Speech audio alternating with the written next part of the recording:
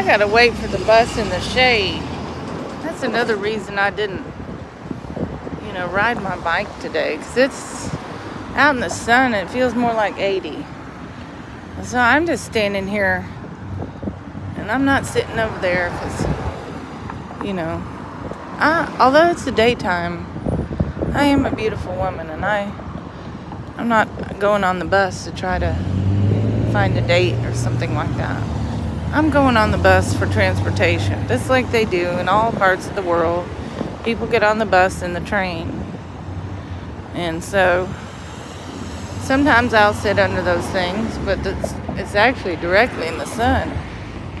Now, I don't feel nervous. We got uh, cameras in the sky. Whoop. I hope y'all are enjoying the videos. I'm uh, I'm waiting on that bus. It said about four more minutes, so.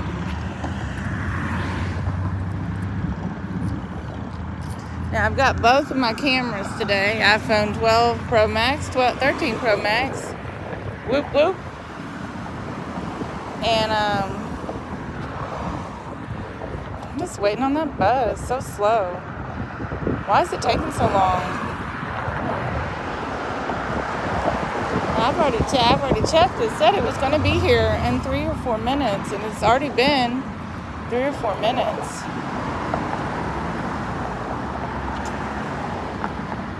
Well, luckily, I don't have that far to go to get to Kim Son. And I did find out that the buffet on the weekends twenty-seven ninety-five. I'm gonna make sure I eat twenty-seven dollars and ninety-five cents worth of food. That's a lot. Look at that Tesla, y'all. Look at the Tesla. Whoop whoop. Film the Tesla. That's a pretty color. I don't know that some guy was saying it's kind of annoying because you have to um, charge it all the time, and if you're going somewhere, you better you have to plan it, plan your charging. But I guess this for commuting around town or something like that, you know, to and from work. I, I suppose if you worked at a place where you could plug it in, then why not? I don't know.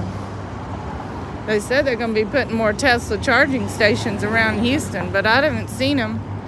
Not yet, anyway. Oh, is that the bus?